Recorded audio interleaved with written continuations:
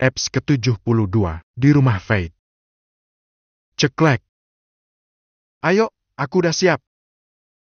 Di pintu kamar yang terbuka sana Leta keluar dengan mini dress sebatas lutut. Terlihat sangat anggun dan cantik dengan rambut yang dia bentuk seperti tutorial yang sempat ia lihat di HP. Nei! Seru Cakra, menatap terkejut, kagum dan terpesona pastinya. Lo, lo ngapain? Ya mau ikut makan malam. Gak peduli sama muka Cakra yang sudah pasti tak setuju, Leta melangkah lebih dulu. Velak tertawa kecil melihat wajah Cakra yang tak setuju. Dia mengikuti langkah anak dan menantunya yang sudah tarik-tarikan itu. Memisah keduanya dengan berada di tengah-tengah Leta dan Cakra. Kalian berdua ikut. Ngomongnya dengan tangan yang menarik Leta serta Cakra. Cakra! Teriak Leta, menepis tangan Cakra yang akan menghapus lipstik di bibir. Pa, Cakra usil! Turunin di jalan aja! Teriak Leta, kesal. Velak hanya tertawa kecil dengan sedikit menoleh. Di sana nanti ada Faith. Lo sengaja kan? Dandan sampai kayak gini biar dilihat sama dia? Tuduhnya. Leta mengerucutkan bibir. Ya masa gue ketemu sama keluarga mertua nggak dandan? Pikiran Elo aja buruk terus. Awas aja ya, kalau sampai Elo lirik-lirikan sama si Faith. Sampai rumah, habis lo. Ancam Cakra. Lo aja bisa kirim-kirim uang sesuka gitu ke Mesal. Kenapa gue yang lirik doang nggak boleh? Balas Leta. Gue sama Mesal kan emang udah temenan sejak kecil.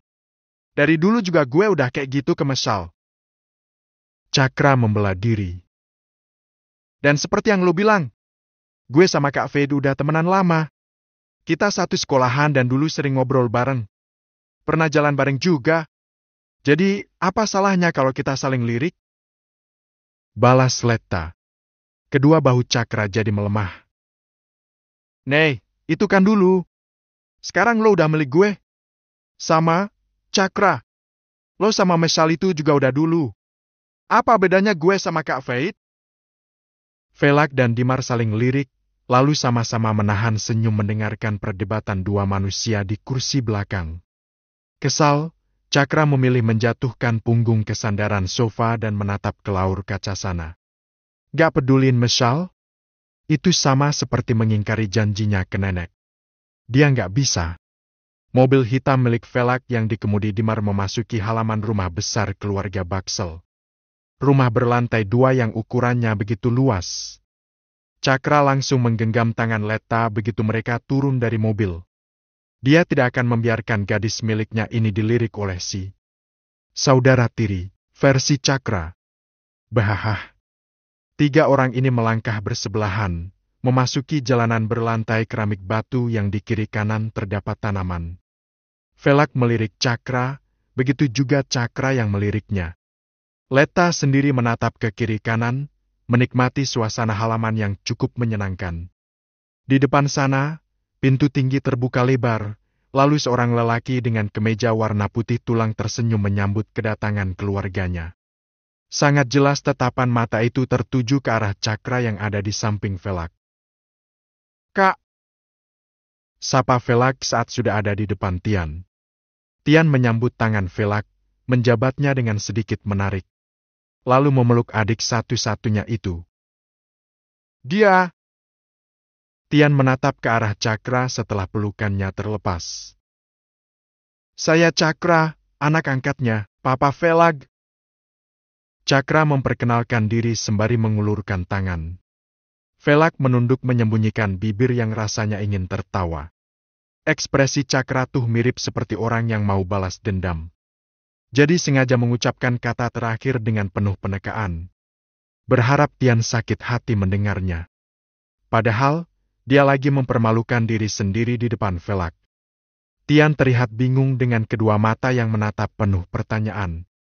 Lalu menatap Velak yang memilih membuang muka. Ein anak angkat, Tanyanya, ingin memastikan. Santai banget Cakra mengangguk. Vel, Seru Tian, meminta penjelasan pada adiknya. Kita bahas di dalam saja, Kak. Ajak Velag. Masih dengan kebingungan, Tian mengangguk. Ya sudah, ayo masuk. Cakra melirik Velag sebelum mengikuti langkah kaki Tian, lalu melirik ke arah Leta yang mengeratkan genggaman dengan tatapan penuh arti padanya. Dia tersenyum tipis, ingin menunjukkan jika dirinya sungguh tak apa-apa. Vel, sapa wanita cantik yang rambutnya coklat. Melihat ada seseorang yang datang bareng Velak, dia jadi melangkah mendekat. Ena menjabat tangan Velak, cipika-cipiki seperti biasanya dan beralih menjabat tangan Cakra. Ena menarik tangan saat tahu jika yang ada di sebelah Cakra adalah Leta. Gadis yang dulu sudah pernah ia temui, dan pertemuan mereka ada di panti asuhan. Bahkan dengan gamblang Fate mengatakan jika tertarik dengan Leta. Tante? Sapa Leta, menganggukkan kepala dengan senyum canggung. Tadi tangannya sudah sempat terangkat untuk menjabat tangan Ena, hanya saja. Ena tak mau. Vel, kok kamu bisa bawa dia juga? Tanya Ena, menatap Velak, meminta penjelasan.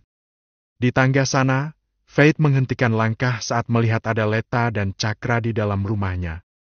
Hanya beberapa detik saja, karena setelahnya dia melangkah cepat dan seperti orang yang menemukan pacarnya yang lagi selingkuh. Om! Seru Fade dengan wajah yang terlihat sangat terkejut. Bahkan wajah putihnya sampai terlihat merah dengan bibir yang bingung mau ngomong apa. Fade, kamu kenapa? Tanya maminya, memerhatikan ekspresi wajah Fade. Fade meneguk ludah, kepala mendadak blank, gak bisa ngomong. Yang kemarin dibantu Kak Fade. Ini, Tante. Leta yang menjawabnya. Dia anakku, kak, dan gadis di sebelah cakra ini. Tentu saja kamu sudah mengenalnya. Tutur Velak santai, seperti tak peduli dengan Fate yang terlihat tabung gas yang mau meledak. Velak menepuk bahu Fate. Kamu ngobrol dulu sama Cakra dan Leta. Om mau bicara sama papi dan mamimu dulu. Velak memberi isyarat pada Ena untuk mengikuti langkahnya. Lalu kedua orang dewasa itu melangkah meninggalkan ruang tengah. Fade menggelengkan kepala, dia sampai memukuli kepalanya untuk membuat rasa panas di kepala itu menghilang. Ini benar-benar ada di luar kepala. Gak pernah menyangka akan bertemu dengan rivalnya di dalam rumah sendiri. Rumah lo gede banget ya? Ucap Cakra, memerhatikan setiap sudut rumah. Fade memijat pelipis. Lah, lo kok bisa ke sini? Kok bisa bareng sama dia? Fade menunjuk cakra yang tentu saja tetap ada di sebelah Leta. Ya wajar lah. Gue ini anak angkatnya Vel Papa Velak. Papa gue ajak gue ke sini. Makanya gue ikut. Cakra yang menjawab. Lalu mengangkat tangannya yang menggenggam tangan Leta. Dan dia ini bini. Pacar. Cepat Leta menyahut, membuat kalimat Cakra jadi terpotong. Nei! Seru Cakra dan kelihatan mau protes. Leta melirik, lalu memelototi Cakra. Bukan, bukannya nggak mau akui, tapi dia masih mikirin sekolahnya.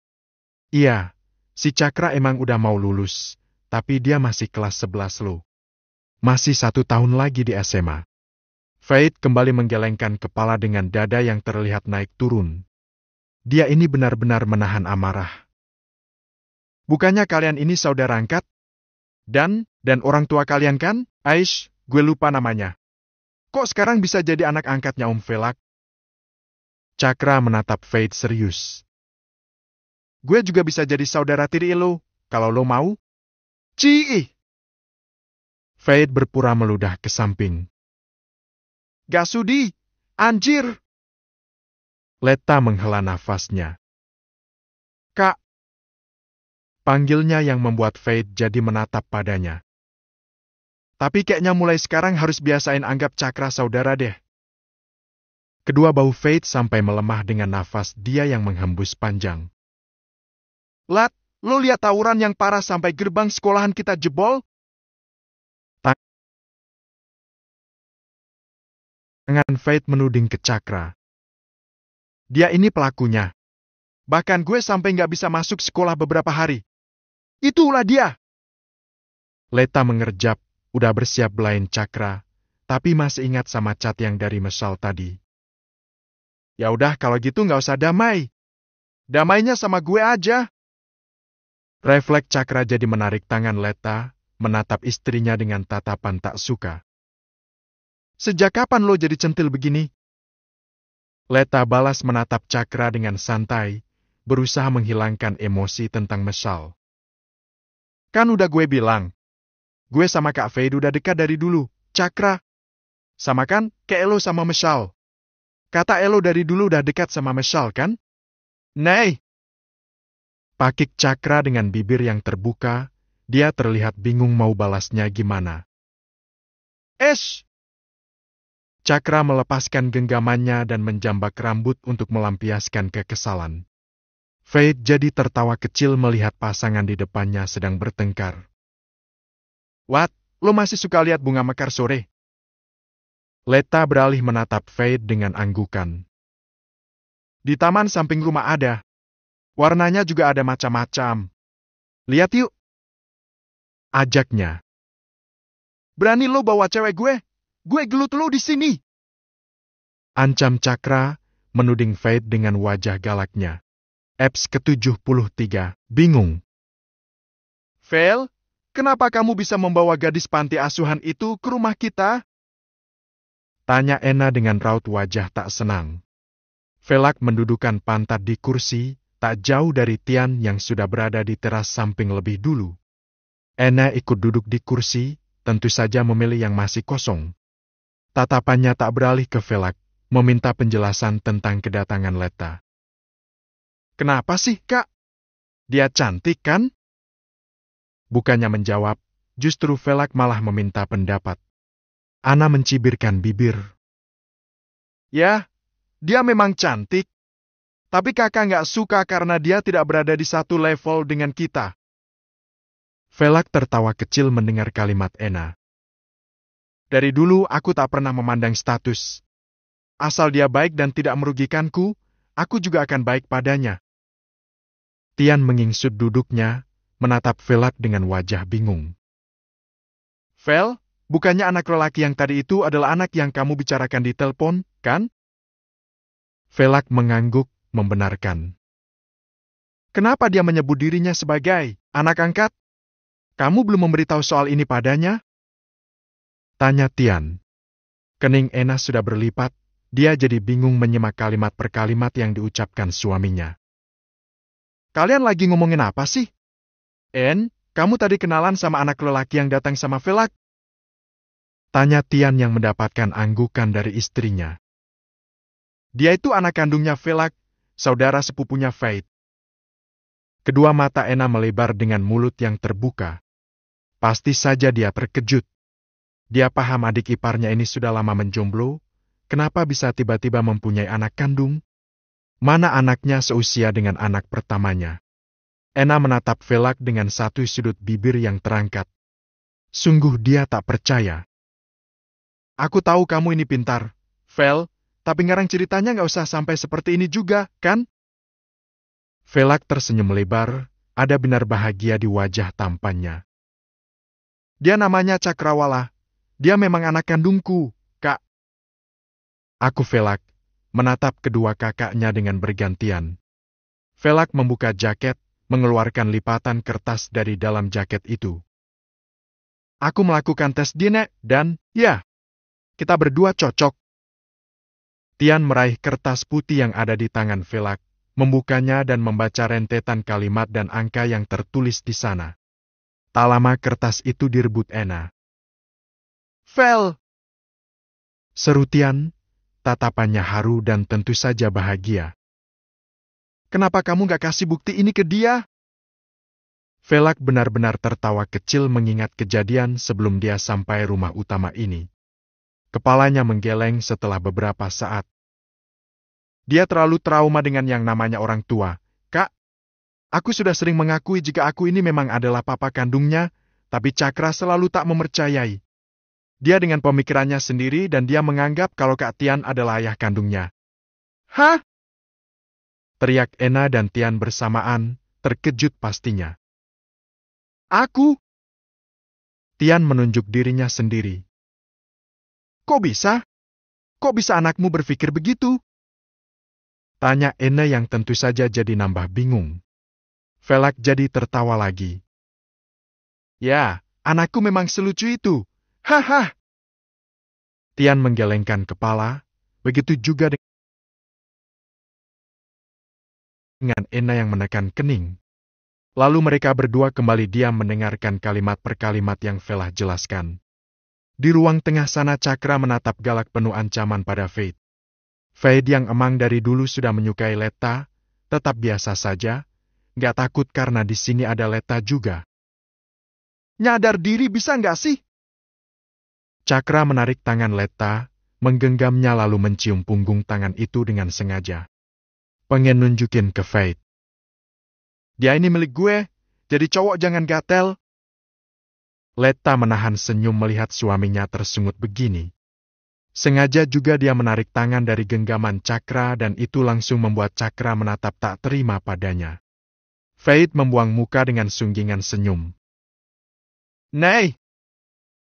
Seru Cakra saat melihat Leta yang melangkah keluar dari rumah besar ini. Eh, lo mau apa, Han? Dia menarik bahu Faith karena cowok itu mengikuti langkah kaki Leta. Kasar Fate menepis tangan Cakra. Ini rumah gue, anjing! Serah gue mau ngapain? Mending lo balik aja sono. Usirnya dan kembali melanjutkan langkah, mengejar Leta. Leta yang sudah ada di ambang pintu sedikit menoleh. Syukurin! Makanya jangan sesukanya bagi-bagi sama teman lama. Dipikir gue nggak bisa. Apa? Monolognya yang hanya bisa ia dengar sendiri. Gak peduli perdebatan Cakra dan Fate, Leta benar-benar melangkah keluar dari rumah utama itu. Leta berjalan ke samping rumah, karena kata Fate tadi bunganya ada di halaman samping. Kan? Jadi Davita mengaku kalau dia tidak menggugurkan kehamilannya? Suara seorang wanita membuat langkah kaki Leta berhenti. Dia mepet ke dinding, dia di sana untuk mendengarkan kalimat lanjutan. Iya, dia malam itu mengakuinya. Aku merasa beruntung karena aku tidak datang terlambat. Dan aku sangat berterima kasih sama Fate. Jika saja dia tidak mendonorkan darah untuk Cakra, aku akan menyesal seumur hidup karena telah mencelakai darah dagingku sendiri. Kedua alis Leta mengerut, menyatu dengan wajah yang terkejut luar biasa. Leta berlari saat di teras depan sana muncul Fate yang tarik-tarikan tangan sama Cakra.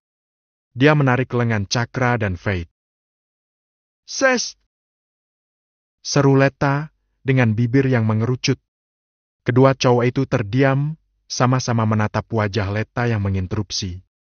Menurut saja saat ditarik Leta dengan langkah yang mengendap, mirip mau maling. Jadi Fade dan Cakra saudara sepupu? Ini suara Ena. Jelaskan, Mi, kita sudah melihat tes DNA itu. Cakrawala dan Velak 99% cocok. Itu berarti Velak memang ayah biologisnya. Apalagi Velak menerima tes itu langsung dari Seto. Apa yang perlu diragukan? Ini Tian yang bicara. Leta jadi menoleh ke Cakra yang wajahnya terlihat menegang. Begitu juga Fade yang jadi menatap ke Cakra. Makin merasa tak percaya dan seperti berada di alam mimpi. Davita tahu kalau anak yang dia buang dulu itu adalah Cakra? Tanya Ena. Tak langsung ada jawaban, para orang tua itu terdiam untuk beberapa saat. Dia sudah sibuk dengan keluarganya sendiri. Kurasa sama sekali tak mengingat Cakra. Velak yang berucap. Tangan Cakra mengepal arah dengan jangkun yang naik turun. Davita? Gumamnya lirih. CKK, wanita gila bisa-bisanya membuang anak sendiri dan masuk ke kandang singa hanya demi uang. Kali ini Tian terdengar terkekeh. Itu juga bukan kemauannya, kan, Pi? Bahkan aku dengar, dia tidak bahagia di keluarga itu. Mami Ana menyahuti. Menjadi istri kedua, di mana pun itu akan terlihat menjadi wanita perusak rumah tangga orang. Ya, padahal dia dijual oleh keluarganya. Tian menimpali. Kamu tidak berpikir untuk merebut Havita dari Goji, Vel? Untuk apa aku melakukan itu, Kak? Suara Velak yang terdengar sangat malas. Lo, kamu sudah bisa berkumpul dengan anak kandungmu. Apa kamu tak berpikir untuk mempertemukan Cakra dengan ibu kandungnya juga? Usul Tian. Tak bisa jika hanya berdiam begini, Cakra melepaskan genggaman tangan Leta di pergelangan tangannya. Dia melangkah pergi dari sana dengan keadaan hati yang terasa penuh dengan emosi. Leta langsung berlari, mengejar Cakra yang sudah menuruni tangga kecil. Cakra? Panggil Leta di sela berlari. Dia berusaha mensejajari langkah kaki Cakra. Cakra, lo mau ke mana? Tak ada respon, Cakra terus berjalan untuk keluar dari gerbang rumah besar ini. Di teras depan sana Faith menatap punggung dua orang yang sekarang keluar dari gerbang rumahnya.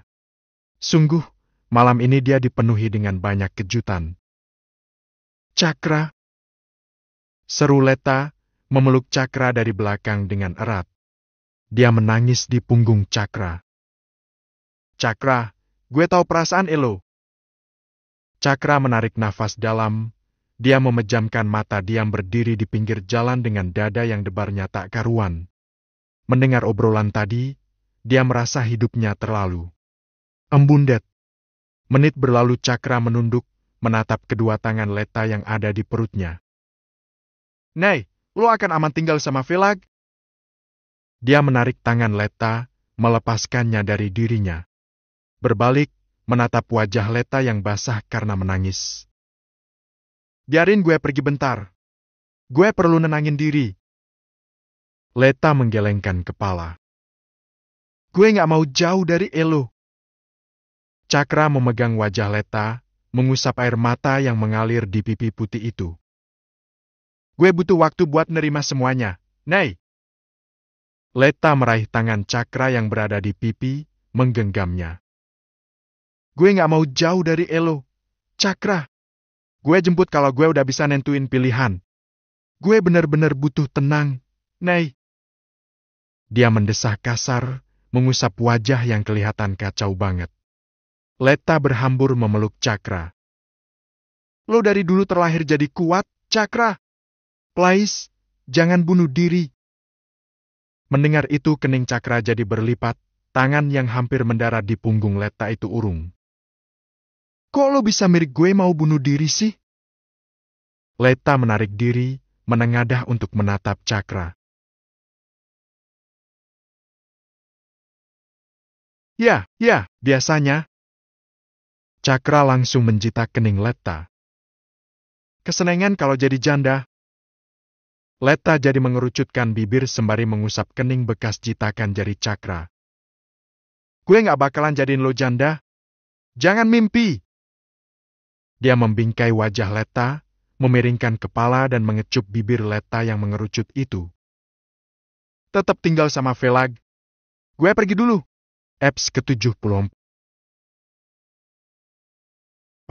Leta mulai paham. Ayo masuk, kita mulai makan. Keburu malam banget. Ajak Velag begitu muncul di ambang pintu. Lo, Cakra ke mana? Tanya Papa Velag menatap Faith dan Leta yang berdiri di teras depan. Faith menoleh, melirik Leta yang menatap ke lain arah. Dia tak mengatakan apa-apa, memilih berlalu masuk ke dalam rumah. Velak melangkah mendekati Leta, lalu celikukan ke kiri kanan mencari keberadaan anak gantengnya. Lat, ada apa? Tanya Velak pelan. Leta menggelengkan kepala, dia menengadah. Senyum terpaksa terbit di bibir manisnya. Um, kita pulang aja, Pak. Perutku agak kurang nyaman rasanya. Dia berakting memegangi sisi perut. Felang menatap ke arah dalam sana, lalu mengangguk. Papa pamitan dulu sama keluarga papa. Leta mengangguk, mengikuti langkah kaki Velak kembali masuk ke dalam rumah. Velak dan Leta benar-benar kembali pulang dengan beberapa kotak makanan yang sempat disiapkan oleh Ena. Di dalam mobil, Velak melirik menantunya beberapa kali. Memerhatikan Leta yang diam terlihat sedih dengan jari-jari yang memainkan jari lainnya. Di sini ada Dimar, jadi dia memilih diam tak bertanya walau sebenarnya ingin sekali bertanya. Velak mengambil ponsel, mengusapnya dan mencari kontak cakra. Menekan gambar telepon di pojok atas lalu menempelkannya di kuping. Cukup lama, panggilannya terhubung tetapi tidak mendapatkan respon. Velak mendesah, mulai menulis beberapa kata di layar tipisnya. Kamu ke mana? San Cakrawala. Velak menatap cat yang sudah centang dua abu-abu. Di layar atas sana sepi, sepertinya Cakra sedang tidak memegang ponsel. Akhirnya dia memilih diam saja dan kembali melirik Leta yang menatap keluar kaca. Klunting. Velak menatap layar ponselnya, sempat berharap kalau ada cat balasan dari Cakra, tetapi ternyata cat yang baru saja masuk itu berasal dari nomor dengan nama kontak Alin. Om. Jari jemari Velak menekan beberapa huruf. Iya, baby son Aileen. Emoji tersenyum tipis. Kening Velak jadi berlipat. Ngirim emoji doang, mana dia paham. Tak membalas, Velak memilih menyimpan ponsel di saku jaket. Lalu kembali dia menatap ke kaca sampai mobil berhenti di pelataran rumah tinggalnya. Let! Panggilnya, mengejar langkah kaki Leta yang sudah masuk ke dalam rumah lebih dulu. Cakra pergi ke mana? Papa udah telepon dia, tapi nggak diangkat. Leta menengadah dengan wajah tertekuknya. Dia menatap papa mertuanya lekat. Pa? Serunya dengan bibir bergetar. Velak tak mengatakan apa-apa, hanya melebarkan mata, menaikkan kedua alis menunggu kata yang akan keluar dari bibir Leta. Bener, yang papa obrolin di rumah Kak Fei tadi itu. Itu bener, Pak? Tanya Leta yang juga sama terkejutnya seperti cakra. Kedua tangan Velak yang mencengkram kedua lengan Leta melemah. Kalian, dengar semuanya? Tanya Velak, ragu. Pelan Leta mengganggukan kepala. Papa beneran papa kandungnya Cakra? Tanya Leta, karena belum mendapatkan jawaban pasti. Velak meneguk ludah lebih dulu. Papa sudah mengatakan itu ke kalian, berulang kali, kan? Jadi benar, Anak papa yang dibuang itu memang cakra? Seakan belum percaya, Leta kembali menginginkan jawaban. Velak menganggukkan kepala.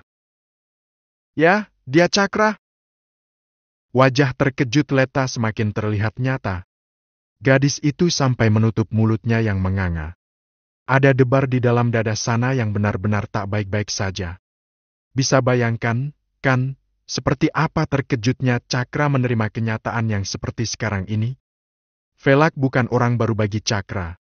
Mereka sudah lama mengenal dalam dunia yang gelap. Cakra menjadi tangan kanannya, pesuruhnya yang kerap sekali hampir kehilangan nyawa. Dan ternyata, Velak adalah papa kandung. Leta menunduk mendudukan pantat di sofa ruang tengah dengan keadaan yang masih terkejut. Jadi Cakra pergi setelah mendengar tentang semua ini? Sekarang gantian Velak yang bertanya. Leta mengangguk tanpa menatap Velak. Andai dia menjadi cakra, pasti dia akan melakukan hal yang sama. Menghilang untuk beberapa saat agar keadaan hati dan pikiran membaik sebelum salah mengambil keputusan karena emosi.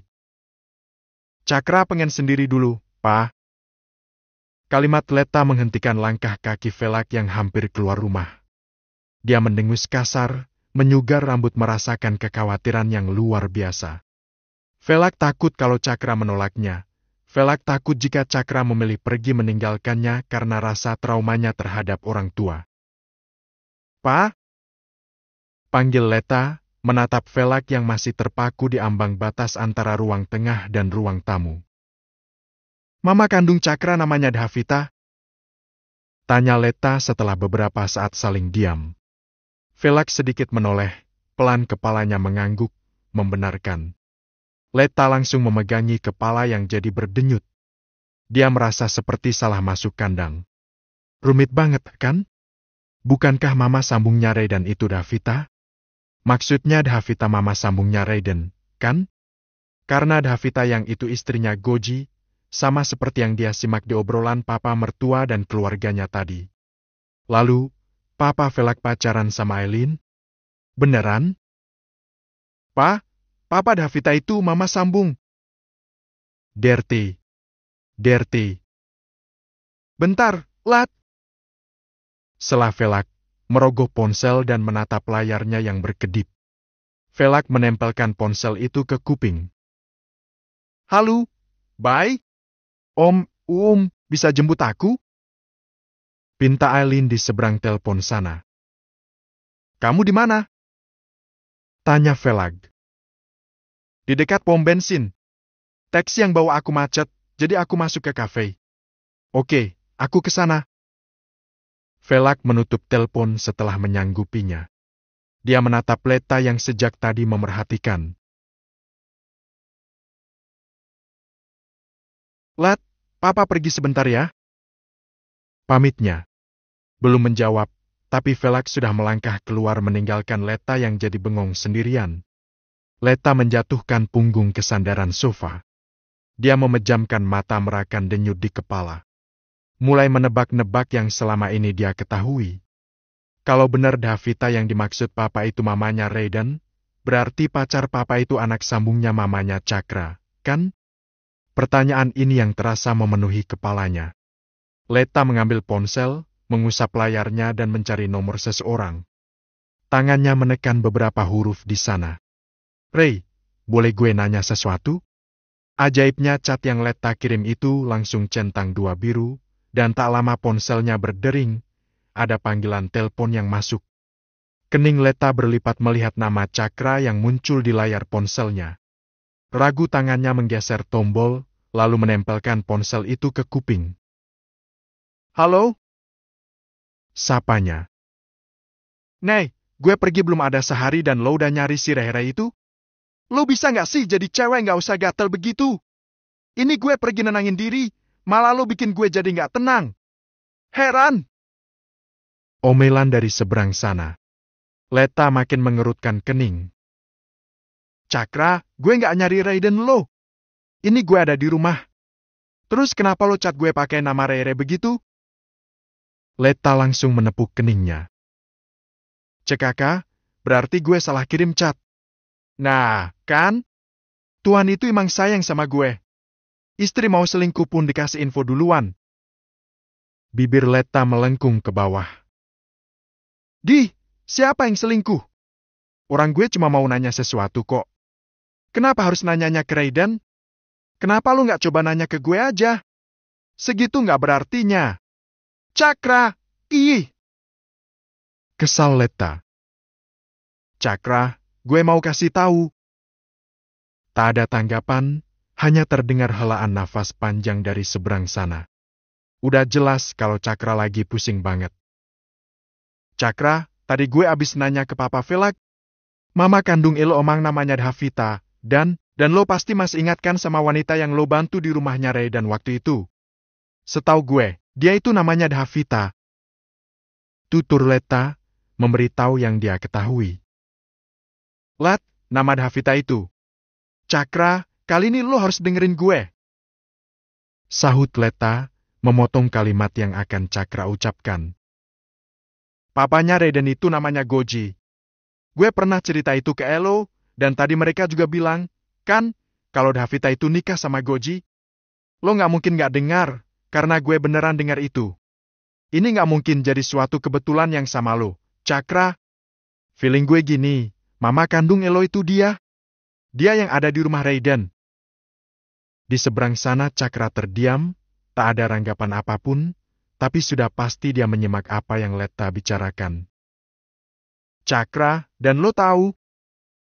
Leta menegakkan duduk, Tangannya menyugar rambut merasakan pening di kepala. Papa tuh pacaran sama kakaknya Raiden. Kalau emang mama kandung Elo yang jadi mama sambungnya Raiden, itu berarti pacar papa adalah anak sambung mama Elo. Usap keju nambah lima ribu, usap kecap nambah lima ribu. Masnya mau diusap pakai apa? Kedua mata Leta melebar mendengar suara wanita di seberang sana. Cakra, lo usap-usapan sama siapa? Pulang sekarang juga. Astaga, dia teriak. Budek kuping gue. Keluh Cakra di seberang sana. Gue nggak mau ya. Lo main usap-usapan sama cewek lain. Pulang! Ini gue lagi beli jagung bakar, sayang.